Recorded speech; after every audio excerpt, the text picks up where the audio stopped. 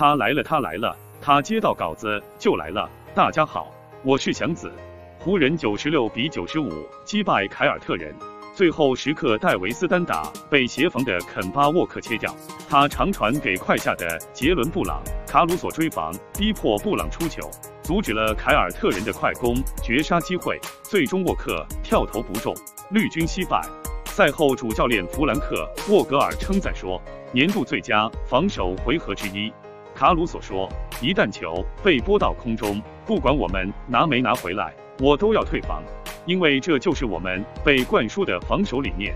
安东尼·戴维斯说：“他是聪明的球员，他不是最高薪或者荣誉最多、资历最老。很多人没注意他，但他用正确的方式打球。” And，他走了，他走了。